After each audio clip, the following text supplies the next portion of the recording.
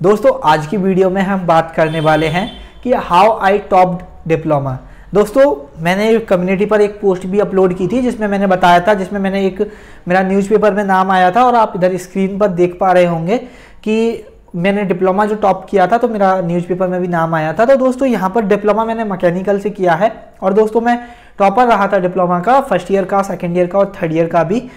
यहाँ पर मैं जो मेरा ये था, ये ऑल ओवर था मतलब डिप्लोमा में जितनी भी ब्रांच होती हैं मैकेनिकल सिविल इलेक्ट्रिकल जितनी भी ब्रांच होती हैं, मैं पूरा सभी का टॉपर था यूनिवर्सिटी का। दोस्तों, यहाँ पर हम ये बात करेंगे कि डिप्लोमा में कैसे मैंने पढ़ाई की थी और आपको डिप्लोमा में कैसे पढ़ाई करनी चाहिए कि आप एक अच्छा स्कोर कर पाएँ।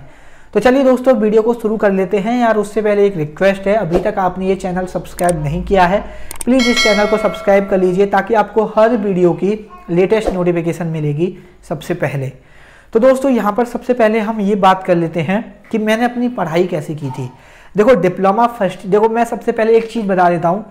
मैं जब टेंथ में था तो मैं सीरियसली बता रहा हूँ, मैं टेंथ टेंथ जो मैंने की है, मैं टेंथ में सीबीएसई बोर्ड से थी, लेकिन मेरी जो टेंथ में सीजीपीए थी ना, वो इतनी अच्छी नहीं थी। लेकिन दोस्तों, अगर आप टेंथ में ट्वेल्थ में एक नॉर्मल स्टूडेंट रहे हो ना तो आप ऐसा बिल्कुल भी मत सोचिए कि आप डिप्लोमा में या आप पॉलिटेक्निक में चाहे मैकेनिकल से कर रहे हो सिविल से, किसी भी ब्रांच से कर रहे हो, आप अच्छा नहीं कर सकते हो। मैं आपको कुछ चीज़ें बताऊँगा, जिस तरह से अगर आप पढ़ोगे तो आप अच्छा कर पाओगे। देखो, मैं अपनी कुछ चीज़ें बताता हूँ।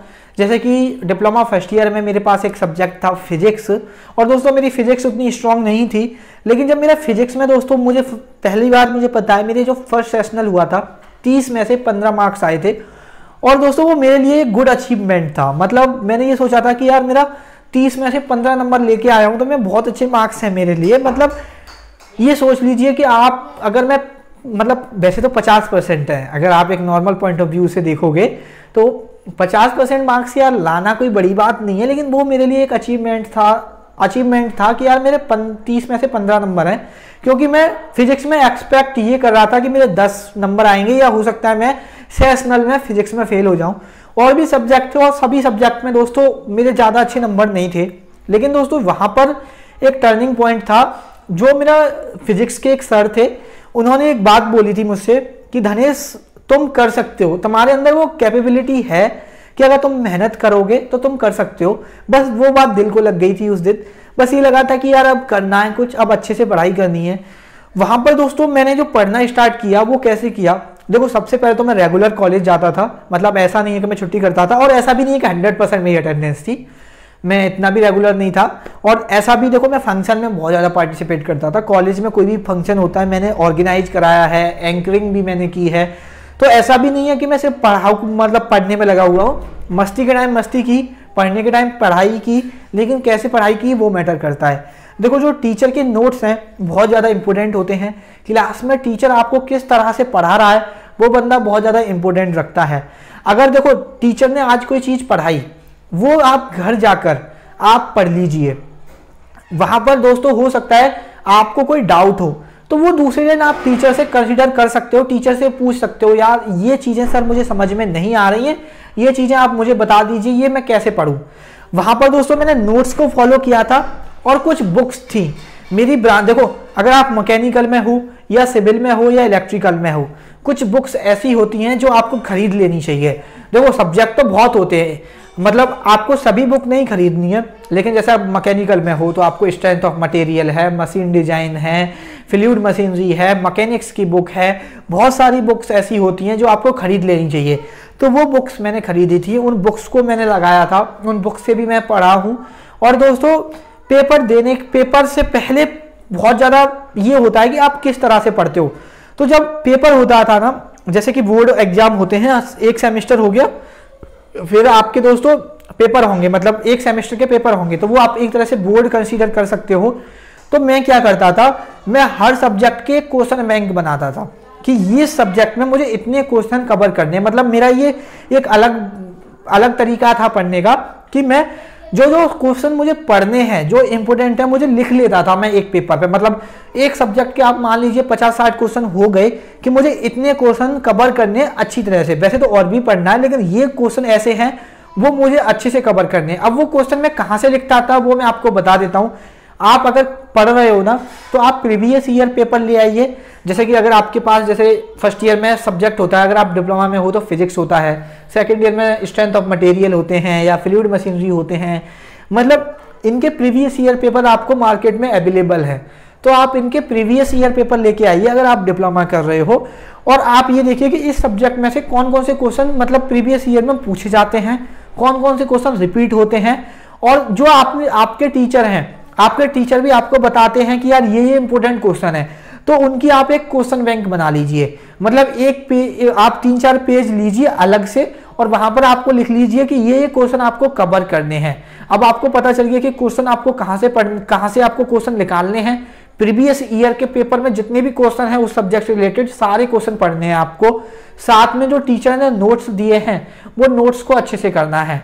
और अगर आप एक्स्ट्रा करना चाहते हो तो आप बुक से पढ़ सकते हो। नहीं तो आप इतना करके भी डिप्लोमा में अच्छा खासा स्कोर कर सकते हो। आपको देखो, मैंने बुक से पढ़ा था, लेकिन दोस्तों आप बुक से नहीं पढ़ना चाहते हो तो मैं आप कंपलसरी नहीं कह रहा आपसे कि आप भी बुक से पढ़ो। आप क्या कर सकते हो? जिस भी सब्जेक्ट को पढ़ रहे हो टीचर के नोट्स अगर टीचर ने अच्छे से प्रिपेयर कराए हैं नोट्स तो और इनकम्प्लीट नोट्स हैं तो भाई फिर आपको बुक से पढ़ना पड़ेगा। और दोस्तों, एक चीज़ बता देता हूँ मैं आपको, बहुत सारे बच्चे क्या करते हैं जो डिप्लोमा में पढ़ते हैं ना, वो या तो प्रीवियस ईयर पेपर ही पढ़ते हैं या नोट्स ही पढ़ते हैं। लेकिन दोस्तों, आप डिप्लोमा में पास हो जाओगे। लेकिन आपको गवर्नमेंट पॉइंट ऑफ़ व्यू से पढ़ रहे हो ना तो आपको बुक वगैरह खरीद लेनी चाहिए। हर, अगर मैं डिप्लोमा तीन साल का होता है, छह सेमेस्टर होते हैं, अगर मैं छह सेमेस्टर की बात करूँ तो कम से कम सात आठ बुक ऐसी होती हैं, छह सेमेस्टर की मैक्सिमम दस बुक जो आपको इंपॉर्टेंट होती हैं। मतलब मैंने दोस्तों टोटल डिप्लोमा में आठ बुक खरीदी हुई हैं।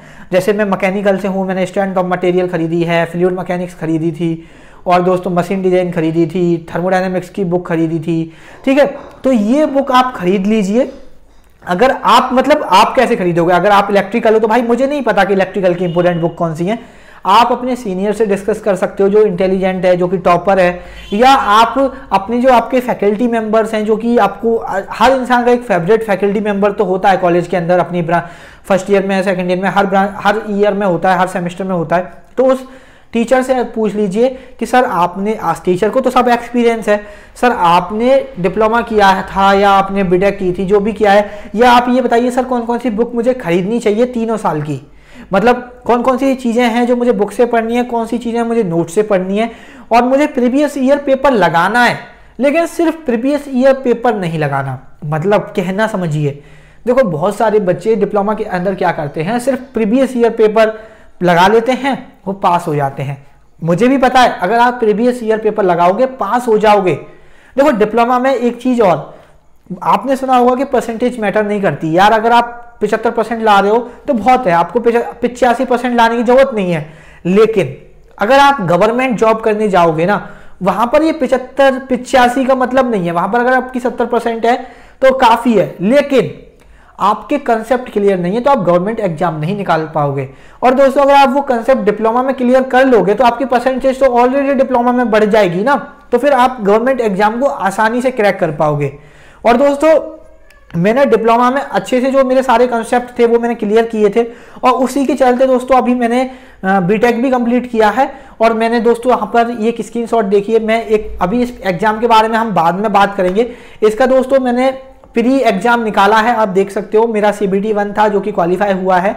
अभी दोस्तों रिटर्न एग्ज़ाम है, जब मेरा रिटर्न हो जाएगा, उसके बाद में, बारे में मैं इस एग्ज़ाम के बारे में बात करूँगा कि कौन सा पेपर है जो मैंने निकाला है। तो दोस्तों, यहाँ पर बस मैं यही कहना चाह रहा हूँ कि अगर आप गवर्नमेंट जॉब लेना चाहते हो तो डिप्लोमा अच्छे से करिए। डिप्लोमा नोट्स के साथ पढ़िए।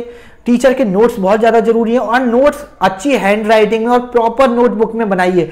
और दोस्तों, ऐसा नहीं है कि ब्लू पेन से आप क्वेश्चन भी लिख रहे हो ब्लैक पेन से पेन मतलब आपकी कॉपी भी ऐसी होनी चाहिए जो अच्छे नोट्स होने चाहिए, सुंदर मतलब राइटिंग खराब है, वो मैटर नहीं करता। लेकिन आपने देखो राइटिंग में इस, मैं आपकी लिखने की राइटिंग की बात नहीं कर रहा, लेकिन बहुत सारे बच्चे ऐसे होते हैं, उनको पेन की कोई डिफरेंस ही नहीं पता। मतलब नोट्स बना दिए, उल्टे सीधे लिख दिए, फ़र्क नहीं। भाई, वो नोट्स कुछ सब्जेक्ट के नोट्स आठ, दस सब्जेक्ट ऐसे हैं जो नोट्स आप गवर्नमेंट पॉइंट ऑफ़ व्यू से इंपॉर्टेंट हैं। उन सब्जेक्ट के नोट्स ऐसे बनाइए, जिनको आप बाद में एक बार अगर देख लो ना तो आपके सब समझ में आ जाए। तो नोट्स को इतने अच्छे से बनाइए। तो दोस्तों, यही चीज़ें हैं कोई खास नहीं है कि मतलब कोई रामबाण नहीं है कि यार ऐसे करोगे तो पास हो मतलब टॉप कर लोगे या ऐसे करोगे तो अच्छी परसेंटेज आ जाएगी, ऐसा कुछ भी नहीं है। बस यही है कि नोट्स को टीचर के नोट्स को अच्छे से बनाइए और प्रॉपर नोट्स को मेंटेन करिए। प्रीवियस ईयर पेपर को लगाइए और बुक ज़रूर खरीद लीजिए। उन सब्जेक्ट की जो subject government point of view से इंपॉर्टेंट है। उसके लिए दोस्तों, आपको अपने टीचर से बात करनी होगी कि आपके लिए कौन कौन से सब्जेक्ट इंपॉर्टेंट हैं, क्योंकि अगर आप फ़र्स्ट ईयर में हैं तो आपको नहीं पता होंगे या सेकेंड ईयर में है तो आपको नहीं पता होंगे। कि कौन कौन से subject government point of view से इंपॉर्टेंट है। आई होप दोस्तों, आपको ये वीडियो में कुछ इन्फॉर्मेटिव लगा होगा, आपको लगा होगा, यार, क्योंकि बहुत सारे लोग हैं ना, वो ये चीज़ें पर डिपेंड करते हैं। देखो, अगर आपको प्राइवेट जॉब करनी है तो आपको इतना कुछ पढ़ने का ज़रूरत नहीं है। फिर आपको ज़्यादा ज़रूरत ये है कि आप अपनी टेक्निकल स्किल पर ध्यान दो। टेक्निकल स्किल पर लाइक दोस्तों, आप सॉफ्टवेयर सीखने पर ध्यान दो। आप सॉफ्टवेयर लाइक कैटिया वगैरह पढ़ो। लेकिन अगर आपका टारगेट है गवर्नमेंट जॉब निकालना फिर दोस्तों आपको अच्छे से पढ़ाई करनी होगी डिप्लोमा के अंदर। आपको नोट से पढ़ना है बुक से भी पढ़ना है प्रीवियस ईयर पेपर भी लगाने हैं। और जब आप डिप्लोमा फाइनल ईयर में आ जाओ तो आप दोस्तों बुक भी खरीद के लाओ कंपटीशन की। वो मैं दोस्तों एक वीडियो में ऑलरेडी पहले डिस्कस कर चुका हूँ। तो दोस्तों वही मेरी, यही मेरी स्ट्रेटजी थी कि मैं नोट से भी पढ़ाता बुक से भी पढ़ाता और प्रीवियस ईयर पेपर भी लगाए थे। और दोस्तों मैं कंसिस्टेंटली से पढ़ता था। मतलब डेली पढ़ाऊँ ऐसा नहीं है कि मैं एग्ज़ाम टाइम ही पढ़ाता। मैं डेली मतलब ऐसा भी नहीं है कि एक वीक में सात दिन है तो सातों दिन पढ़ता था। ऐसा था किसी दिन मतलब मेरा सुबह का प्लान होता था कि मैं तीन बजे उठ के पढ़ रहा था। या शाम को दोस्तों, अगर मैं पढ़ रहा हूँ छः बजे से, क्योंकि जो कॉलेज है वो दस से चार कॉलेज होती है तो अगर तुम छः से पढ़ दो तो दस बजे तक पढ़ लो छः से दस। आप चार घंटे में दोस्तों पूरा रिवाइज कर लोगे और पिछला भी रिवाइज कर लोगे। अगर आप सिर्फ़ एग्ज़ाम टाइम पढ़ोगे तो फिर पास लाइक नंबर आएँगे। तो दोस्तों, आपको अच्छे से कंसेप्ट क्लियर करने हैं। तो डेली पढ़िए थोड़ा थोड़ा पढ़िए दो दो घंटे पढ़िए, चार घंटे भी पढ़ना ज़्यादा ज़रूरी नहीं है दो दो घंटे ही पढ़िए डेली लेकिन कंसिस्टेंसी के साथ पढ़िए। वही चीज़ें मैंने अप्लाई की थी और जिसकी वजह से मेरा अच्छा स्कोर आया था डिप्लोमा के अंदर। आई होप दोस्तों आपको ये वीडियो अच्छी लगी होगी, कुछ इन्फॉर्मेटिव लगा होगा। वीडियो अच्छी लगी है डिप्लोमा से रिलेटेड कोई डाउट है, आप कमेंट सेक्शन में नीचे बताइए, मैं रिप्लाई ज़रूर करूँगा। आई होप दोस्तों आपके सारे डाउट क्लियर हो गए होंगे। बाय बाय टेक केयर दोस्तों, आपसे मुलाकात होगी किसी नेक्स्ट वीडियो में।